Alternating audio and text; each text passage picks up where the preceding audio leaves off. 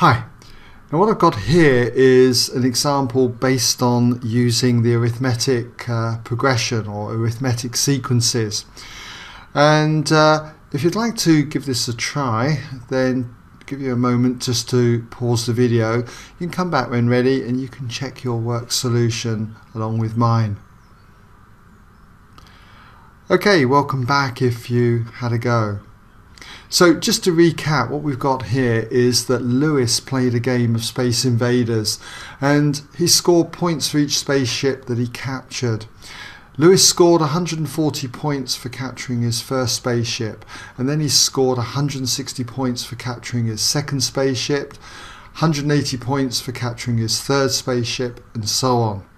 And the number of points scored for capturing each successive spaceship formed an arithmetic sequence. And in the first part then, we've got to find the number of points that Lewis scored for capturing his 20th spaceship. So we'll start there at that point. What we've got then is that for his first spaceship, he scored 140 points. Next, second spaceship, 160 points. Third one, 180 points, and so on. So you can see that this is going up in equal steps often called the common difference. That common difference here is 20 units, okay? So we often say that that is the letter D. D stands for the common difference. So you should be familiar with the basics of arithmetic progressions or arithmetic sequences. If not, just take a look on my website for arithmetic sequences and you'll find all the relevant uh, ideas there. But just as a quick recap, the nth term of an arithmetic sequence is given by this formula. A, the first term, plus n minus 1, the number of terms, n minus 1, times d, the common difference. Okay, so you should be familiar with that.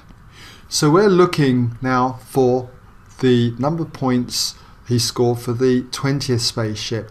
In other words, the 20th term here. So if we just look at the 20th term, we can say it follows that. Okay, the 20th term is going to equal A, the first term, 140, plus n minus 1, well n is 20, okay so we've got 20 minus 1 and we multiply that by the common difference d. The common difference is 20 so if you work this out you'll find you get 520 520 points would have been scored now in part B we've got to go on to find the total number of points that Lewis scored for capturing his 20 or his first 20 spaceships.